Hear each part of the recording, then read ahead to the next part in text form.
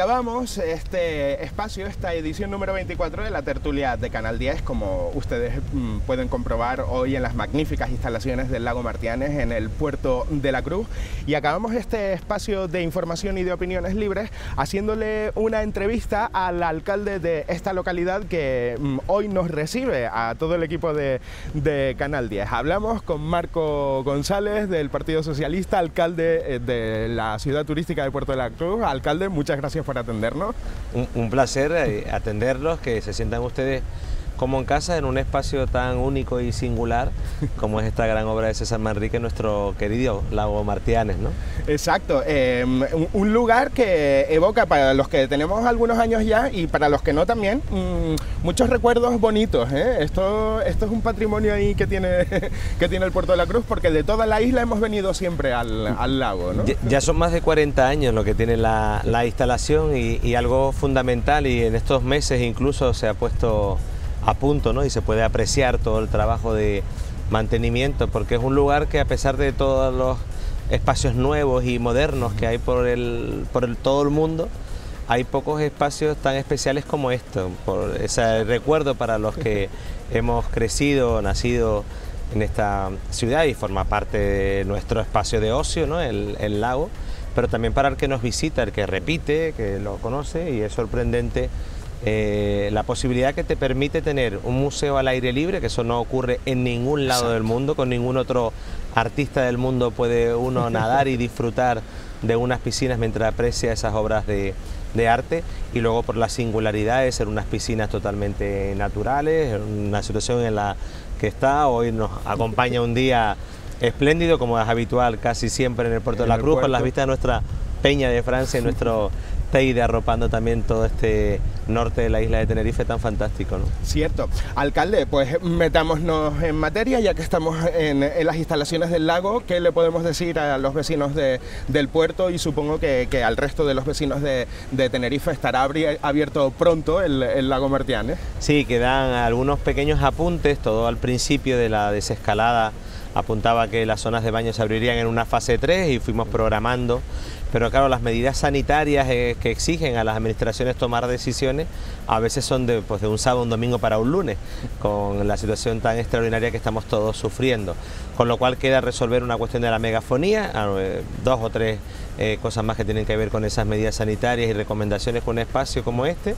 Ya toda esta zona, la que nosotros llamamos las piscinas viejas, aunque nada, tiene, no hay nada viejo, pero eh, popularmente las reconocemos así. Son, las primeras que, se hicieron. se hicieron y las que tenemos y luego ya queda alguna pequeña obra en el Monumento al Mar también, la alquivia está preparada, está preparado nuestro barco, como ven ahí ya barnizando y dando los últimos toques y espero que en apenas unos días podamos abrir. No nos gusta, lo que está tenemos clarísimo es que abrirá antes incluso de que ya nos iniciemos en la fase 3 porque son pequeñas cosas, pequeños apuntes los que quedan, porque aunque hayamos abierto todas las playas y hayamos conseguido incluso que abriera nuestro muelle, nuestra playa del muelle también, sabemos que hay muchísima gente que está deseando disfrutar de un espacio tan maravilloso. Como, como este.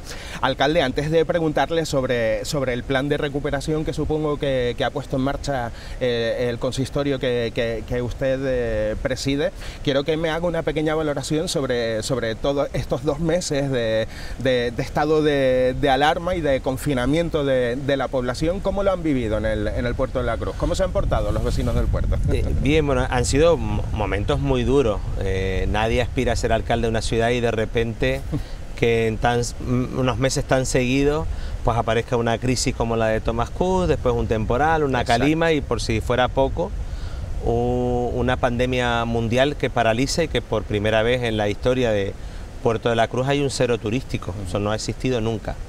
Dentro de esa dureza la experiencia te lleva a hacer uso de algo que es muy simple, pero que, que, a lo mejor no todo el mundo está entrenado, que es el sentido común.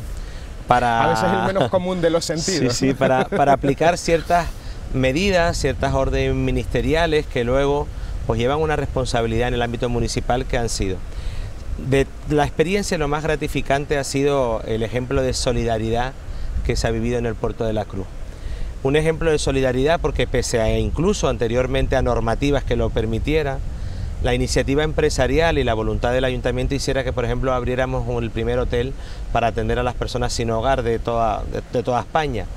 O el primer hotel que incluso acogiera sanitarios todavía pendiente de la propia aplicación y ya estábamos poniéndolo en marcha en Puerto La Cruz. Eso tiene que ver con nuestro sector empresarial y con una buena predisposición y trabajo y colaboración por las áreas eh, municipales para poner en coordinación servicios que se han podido contratar también a entidades y a ONG que ya se venían trabajando, con lo cual hemos reforzado esa voluntad. Ha sido un ejemplo de solidaridad y de compromiso, pero también de voluntad el pequeño y mediano comercio. Aquel que decidió no abrir y empezar a fabricar máscaras eh, de esas viseras de protección 24 horas del día con medios propios para poder eh, donar todo ese material, por ejemplo, a los hospitales del norte. Y eso ha ocurrido en Puerto de la Cruz. Casi como si estuviéramos en un, estado de guerra, ¿no? En el que las fábricas cambian sus propósitos y todos pero, Además, aquí sin ni siquiera una iniciativa empresarial, que es lo que yo aplaudo. Aquí hay empresas que han trabajado las 24 horas de forma altruista, a cero, a cero en sus cajas, para además eh, trabajar para cubrir deficiencias que tienen un ámbito que no son ni de competencia municipal y mucho menos de competencia empresarial como puede ser la propia sanidad canaria. Esas máscaras, esas máscaras de protección eh, se repartieron por toda la isla de Tenerife, luego vino, ya, ya se empezaba con determinados eh, empresas, pues, pues desde Yokio Porta Informática, que fue con el primer contacto que tuvimos, y luego dio paso a la creación de un grupo que, que, ha dado también muy buenas noticias para Puerto la Cruz, como la Resistencia. ¿no? Eh, desde la proyección de Puerto Azul, desde ese hotel o del Hotel Turquesa para Sanitario, desde estas pequeñas empresas y los grupos de entidad, a incluso la solidaridad individual de quien directamente se ha podido adaptar y ha colaborado con entidades como puede ser, por ejemplo, eh, Cruz Roja eh, o, el colectivo de salvamento y socorrismo también, o como incluso puede eh, haber sido algo que también es importante para la, labor, aparte de las cáritas parroquiales que ya tenían el propio Banco de Alimentos Municipal con la Fundación Canaria José Luis Montesino, que también fuimos muy rápido y adaptamos puestos en el mercado y abrimos cámaras y, bueno, una serie de medidas que garantizaban que a día de hoy esa solidaridad más la acción municipal la, por lo menos las primeras necesidades sociales estuvieran cubiertas. ¿no? Luego vinieron acuerdos con grandes superficies para eh, dignificar un poco la situación y la compra de tarjetas. Muchas acciones y mucho. Fuimos eh, también el primer ayuntamiento que puso en marcha ese programa de apoyo de ayuda emocional, de apoyo psicológico, de atención a, a las personas con un gabinete de profesionales, de psicólogos y psicopedagogos al teléfono las 24 horas del día para atender. Yo creo que hubo mucha reacción en el ámbito social que nos tiene que, del, que debemos sentirnos orgullosos, todos los que hayamos formado parte de él, desde el conjunto de la corporación, el empleado público municipal que adaptó también todo su trabajo para que esta máquina no se esforzara, los, mis compañeros que forman gobierno, del que yo me siento muy, muy orgulloso, eh, en general de, de toda la ciudadanía, porque a todo esto se sumaba un cumplimiento absoluto en las medidas. Nosotros tuvimos que levantar partes de las primeras partes de infracción pues a gente que venía de Buenavista a comprar el pan al puerto porque venían todos los domingos, o a personas de la laguna que venían a pasear porque se sentían seguras en el puerto. Eh, sí, normalmente eso nos lo cuentan otros alcaldes, eh, que la, mayoría de las primeras sanciones eh, fueron a personas que no eran de, sus municipios. Sí, y en el puerto es que es habitual venir a pasear, venir y disfrutar de su sector comercial, de, su restauración. y bueno, y venía mucha gente en esos primeros días que no dejaba de sorprendernos, como tuvimos que esperar al decreto porque habían turistas que no querían irse, Exacto. porque se sentían mucho más seguros en el puerto que en sus propios lugares de, de origen. ¿no? Todo esto ha ido eso, con un cumplimiento bárbaro tanto de la ciudadanía, del sector empresarial, que ha hecho que esta situación y que las medidas que hayamos adoptado hayamos sido también un ejemplo de cara al exterior, como ahora mismo la apertura de las playas, en la que pues, sabemos que hay ayuntamientos que han tomado medidas como dar citas y, y aquí con cierta naturalidad, con el compromiso y con la responsabilidad individual, hemos ido cubriendo, ahora bueno, puede haber ciertas iniciativas o pequeños grupos, tampoco es muy entendible la normativa. Oye, si me puedo reunir 10 personas en casa y porque no puedo estar con mis amigos en la, playa. Es decir, que bueno, vamos todos un poco adaptándonos, vamos un poco cumplimiento, pero con una responsabilidad personal, por lo menos de la ciudadanía del Puerto de la Cruz, que, a mí me llena de satisfacción, ¿no? porque cuando uno asume la responsabilidad, esto no se trata de dirigir o de que un grupo de gobierno tome directrices, si luego la ciudadanía eh, no es cómplice.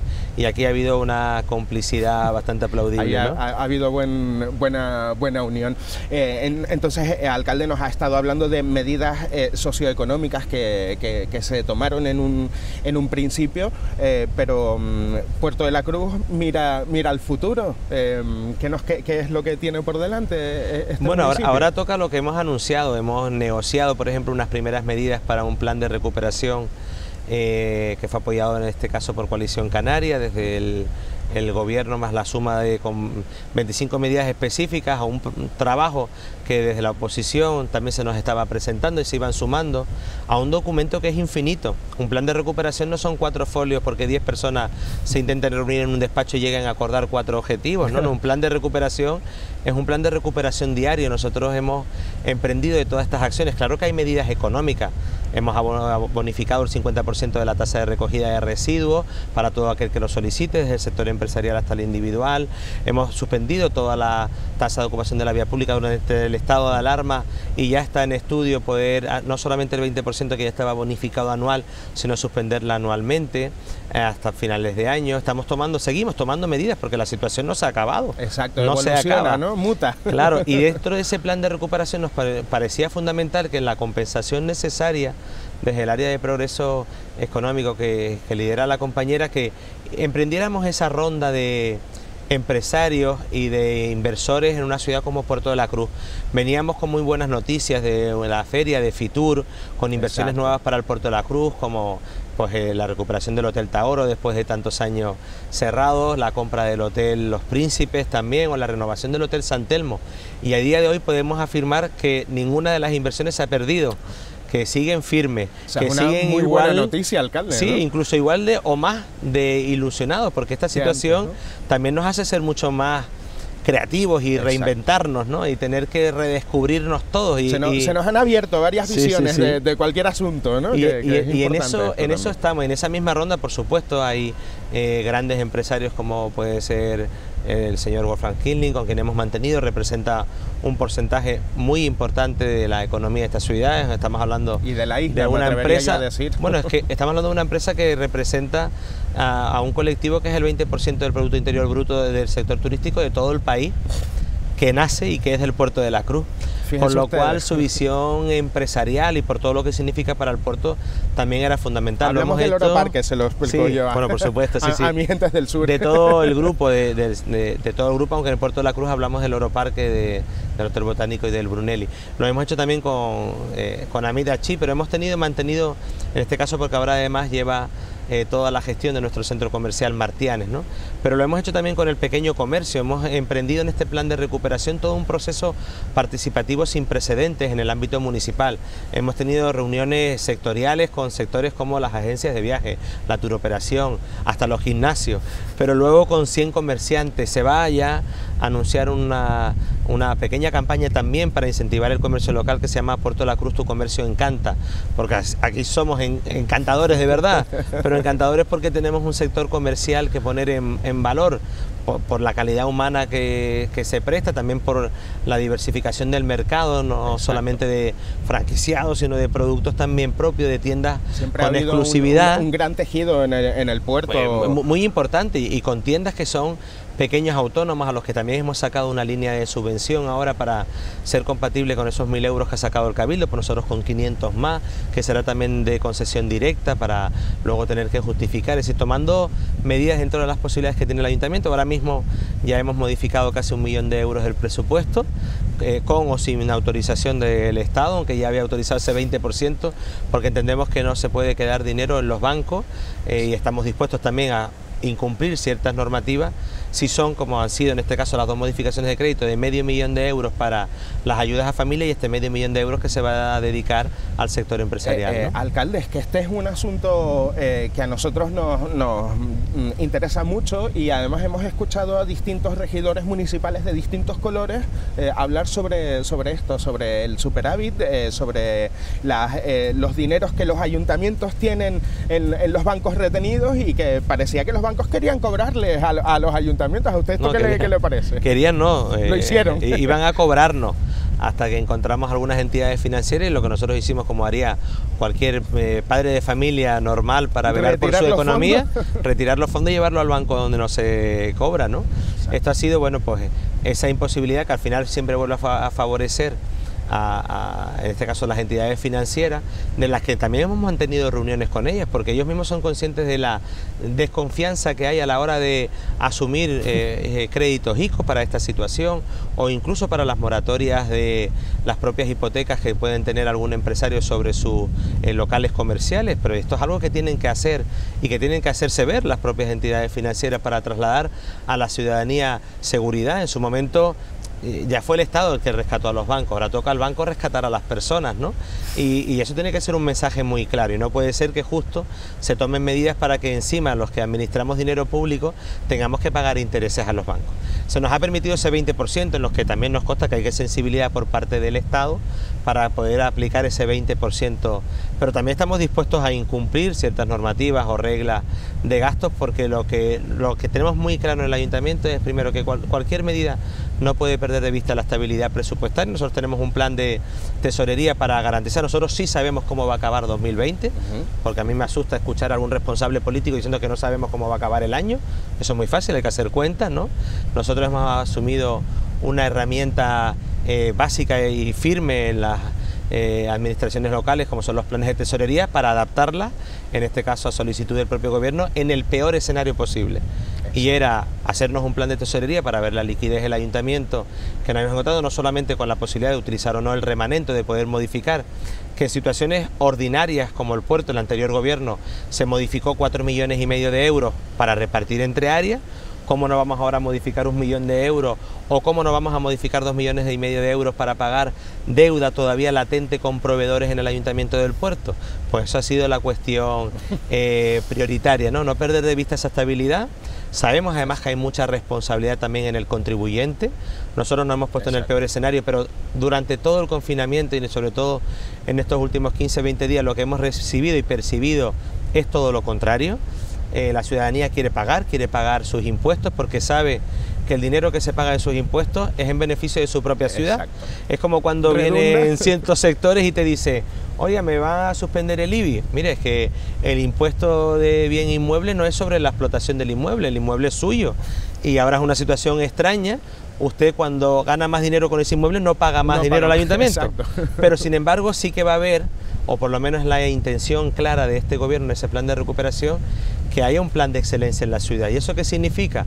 Que lo que no vamos a hacer, al menos este gobierno va a trincherarse para no hacerlo, es a perder la inversión, porque nosotros todo lo que sea un gasto en recuperar espacios públicos, en la jardinería, en la limpieza, en sectores que incluso nos atrevemos a decir y a levantar la mano como los sectores culturales, que nos permiten diferenciarnos e identificarnos como ningún otro destino turístico.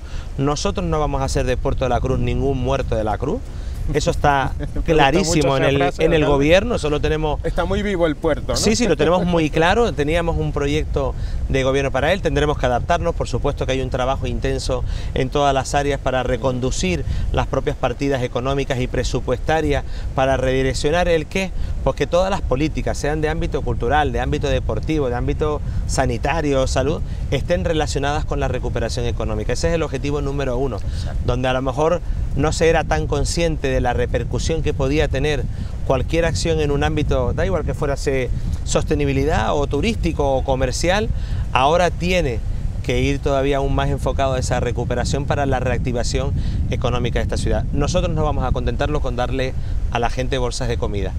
Nos negamos y me niego personalmente a hacer de esta situación una política absolutamente asistencialista, porque sería tener las luces muy cortas y a mí me gusta trabajar con las luces largas. Es, aquello de no deje el pez, sino enseña a pescar, ¿no? Vamos a ponernos esas luces largas porque el puerto además tiene futuro. Yo estoy convencido de que va a ser una de las ciudades que pronto se recupere. Estamos hablando de un turismo nacional en verano, estamos hablando de un sector comprometido al que también se le exigirá más compromiso y capacidad para afrontar esta situación y estamos desde el gobierno poniendo todas las herramientas posibles. Alcalde, veíamos al gobierno del, Estado eh, decirnos estos últimos días em, se soltaba esa, esa información em, en la que se nos contaba que se iba a abrir mucho la mano con los dos archipiélagos en materia, en materia turística, eh, que se quería que, que, los turistas llegaran ya eh, a ambos archipiélagos. Eso sin duda es una muy buena noticia para el puerto de la Cruz. Es muy buena, nosotros estamos convencidos, por eso te decía, nosotros tenemos un porcentaje del 60 al 70% de turismo nacional, precisamente ahora, si es verdad que en julio recuperamos los aviones para que visiten Tenerife, ¿no? Y a diferencia de quizás de otros destinos turísticos que tienen que ver más pues, con eh, la factoría, ¿no? con lugares que no tienen identidad, con lugares donde no se eh, respira pueblo y aquí que tú puedes pasear, tenemos el paseo de San Telmo ahí mismo y si se aprecia y llegan las cámaras vemos a gente pasear, a gente disfrutar de las terrazas. Hay terrazas. Parece que ya hay turismo. ¿Por qué? Porque el primer turismo es el turismo de interior. Esa es nuestra forma de ver y cuando viene el turista encuentra una ciudad viva, una ciudad donde pues, se respira ambiente, donde se puede disfrutar de ese servicio de restauración, con un servicio gastronómico. Los sabores del Puerto de la Cruz son reconocibles en el mundo. Una oferta gastronómica que no tiene ninguna otra ciudad. En el menos espacio de metros cuadrados tiene la mayor oferta eh, gastronómica que se puede visitar en toda Canarias. ¿no? Yo creo que vamos a, llega un momento complicado, pero vamos a ser muy optimistas. Yo confío en que así sea, que a partir de julio esa posible cuarentena, pero además estamos viendo desde el área también eh, turístico y en general el, modelo. La crisis anterior puso sobre la mesa la dependencia de la tour operación. Muchas carencias. Y ahora nos tenemos que, poner en la tesitura de que a lo mejor el, único turismo no puede ser el vacacional. Y ahí hay nuevos caminos para también proyectar Puerto de la Cruz y te puedo adelantar si quieres, con una primera petición, con otro ese levantar la mano para convertir Puerto de la Cruz en la primera ciudad film friendly de Canarias, ¿no? Somos realmente un plató, hoy esto es un plató de televisión, eh, puede perfectamente acoger el rodaje de películas, hablamos no solamente del trabajo que se ya se está haciendo desde el Cabildo con Tenerife Film Commission, sino de ser mucho más ambicioso para proyectar que Puerto de la Cruz se convierta en ese lugar de la creación artística. ¿no? En, esta isla se ruedan muchos anuncios de coches de, Alemania, etcétera, etcétera, y yo creo que ahí el puerto tiene uno... el último Porsche tiene los primeros planos en nuestro puente de, de Martianes, ¿no? Exacto. Lo que queremos es realmente tomar la iniciativa, un protocolo que se está trabajando desde el Cabildo, para aplicar, para crear esa film office, para eh, suspender quizás todas las tasas para incentivar no solamente la cuestión fiscal, poner servicios a disposición para que realmente hace apenas unos meses teníamos por aquí a Netflix rodando Sky Rojo y han anunciado que pronto volverán, pero queremos ser mucho más ambiciosos y queremos ir más allá porque eso es un sector turístico, un, sector turístico de trabajo, de creación y Puerto de la Cruz es la ciudad, lo ha sido durante muchos siglos, esa ciudad perfecta para, para venir y crear, ya sean una holiday painting o puedan venir aquí las personas a escribir, ¿no? sector cultural de gran valor, de gran valor añadido. Eh, Marco, Marco González, alcalde de la ciudad turística y del municipio del Puerto de la Cruz, muchísimas gracias por haber atendido a Canal 10 Televisión, este programa, La Tertulia. Se nos han pasado veintipico minutos, nos hemos ido un poquito de tiempo, pero, pero no importa, era todo muy interesante lo, lo que nos estaba, nos estaba contando. Esperamos verlo muy pronto y esperamos pasar de nuevo por aquí a grabar este, este programa saben que están las puertas abiertas, que para nosotros es fundamental que los medios también canarios piensen en Puerto de la Cruz para producir sus programas. No hay eh, nunca inconvenientes, sino todo lo contrario, servicios a disposición, porque la mejor imagen que puede dar Puerto de la Cruz es la que retransmiten ustedes, ¿no? Y además es una imagen como podemos, como podemos ver a la que desde aquí pues terminamos la entrevista diciendo lo que digo siempre, de que nos vemos en el puerto, ¿no? Exacto, ahí tengo a los contertulios vueltos locos que quieren meterse en el agua y todo, todavía no, no, es posible. No, está permitido. no está permitido, pero, como conozco a algunos, dile que... Ya, los enganchamos y ya saben ustedes que los verán por aquí, sí, sí, por aquí muy pronto. Están todos invitados y están especialmente invitados todas las personas, especialmente de la isla de Tenerife, que ahora son los desplazamientos más cercanos y, permitidos para que después de unos momentos tan duros puedan venir y disfrutar pues de una ciudad que les está esperando con los brazos abiertos, ¿no? les va a encantar. Se los garantizamos, ¿verdad? Exacto.